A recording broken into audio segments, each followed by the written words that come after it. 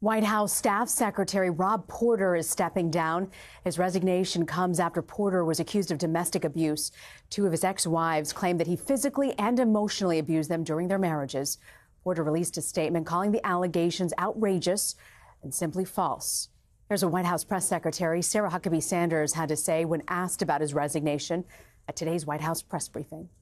Rob has been an effective in his role as staff secretary, and the president and chief of staff have had full confidence and trust in his abilities and his performance. Uh, he is uh, going to be leaving the White House. It won't be immediate, but um, he is uh, resigning from the White House, but is going to stay on to ensure that there's a smooth transition moving forward. Meanwhile, over on Capitol Hill, the Senate today reached a long term budget deal. Funding set to run out tomorrow at midnight, and a measure to fund the government has to be passed.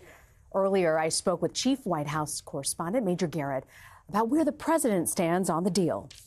White House not only supports the uh, Senate deal as described and embraced by the Democratic and Republican leader of the Senate, but wants the House to pass it as well. And that was the underlying unanswered question before we arrived here at the briefing. Would the White House put itself completely behind this budget deal? And send a signal to the more conservative House Republicans that might balk at the sizable increases in domestic non defense spending and telling them whatever objections you have, they're not going to override us here at the White House. The White House endorsing this not only in the Senate, but in the House, which gives it a much greater likelihood of passing and avoiding a shutdown. And not only that, but taking away the specter of a potential shutdown for the next two fiscal years, which would come as a great relief not only to the United States military, but to lawmakers and probably the American public that I suspect has grown altogether too weary about shutdown clocks, shutdown mania, and overhyped shutdown drama here in the nation's capital. Yeah, it certainly keeps popping up, so that would be a good thing for everyone. Major, I want to ask you about the, this resignation uh, at the White House of an official. What can you tell us about that? So, Sarah Sanders confirmed that Rob Porter, the staff secretary, and for our audience, they may say to themselves reasonably, what is a staff secretary? Well, it's the essential person in charge of moving all paperwork to the president's desk. Very important position in the White House because it is, along with the chief of staff and some others, kind of the choke point of information.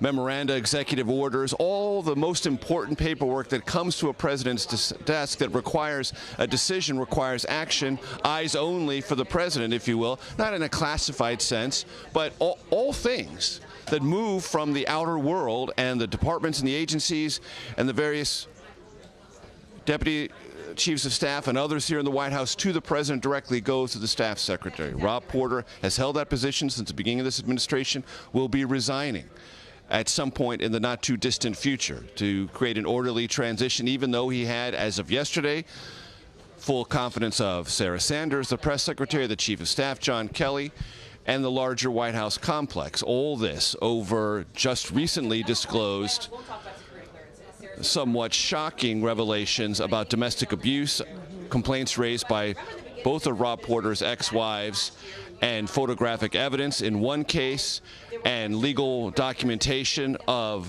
representations by one of his ex-wives of confrontations that felt menacing and in some cases were violent. There are denials, blanket denials from Rob Porter, saying that the context is larger it's not the full understanding. Nevertheless, he is leaving his position here at the White House in the atmosphere of these revelations. And I can just tell you this, Rena, there was conversation a couple of months ago that he was considering leaving, mm. uh, but he did not. He stayed on. And now these revelations have come to the fore, and it is hard to separate one from the other mm. the revelations yeah. and the resignation. Yeah. Our Major Garrett coming to us from the White House. Major, thank you very much.